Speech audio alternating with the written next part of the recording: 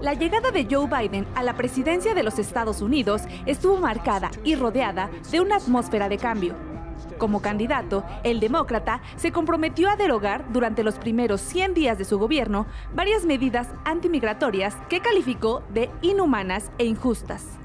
Prometió agilizar los procesos para obtener visas estadounidenses, permisos de trabajo o becas estudiantiles para jóvenes hijos de migrantes.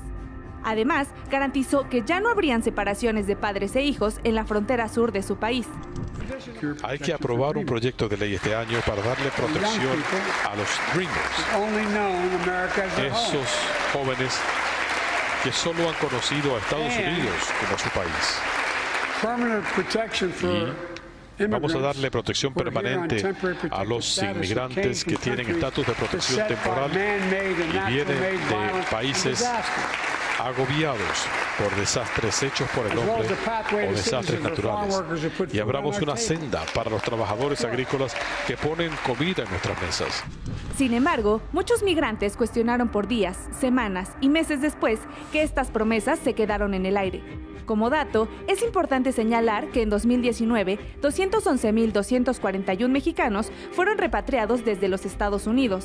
Que cumpla lo que prometió, porque hace, 12 hace dos años yo voté por una reforma migratoria, voté porque él nos prometió una reforma migratoria, cancelar student loans, prometió que este sería el gobierno de los maestros y aquí estoy, no he visto nada de lo que prometí. Estamos aquí para dejarles saber a nuestra comunidad que nosotros no nos vamos a conformar con estas migajas, que son las legislaciones actuales. Ahorita que yo me gradué, estoy no, no saber qué va a pasar en mi futuro por mi residencia, eh, se complican las cosas. De acuerdo con la Casa Blanca, otra de las metas de la administración de Biden fue la de aumentar el número de refugiados en suelo norteamericano. Pasar primero en 2021 de 15.000 a 62.500 y para 2022 alcanzar los 125.000 refugiados.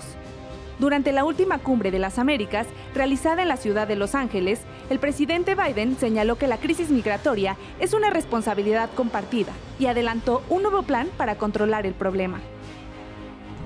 Each one of our countries have been impacted by unprecedented migration, and I believe it's our shared responsibility to meet this challenge. And I emphasize shared.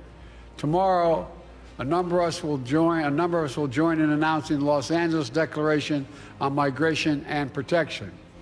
This will bring our nations together around a transformative new approach to invest in the region and solutions that embrace stability, to increase opportunities for safe and orderly migration, to crack down on criminals and human traffickers who prey on desperate people, and coordinate specific concrete actions to secure our borders and resolve the shared challenges.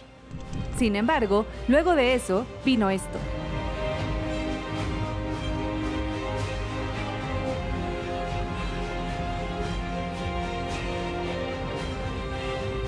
La crisis migratoria sigue viva. Las promesas aún deben materializarse. Canal 14.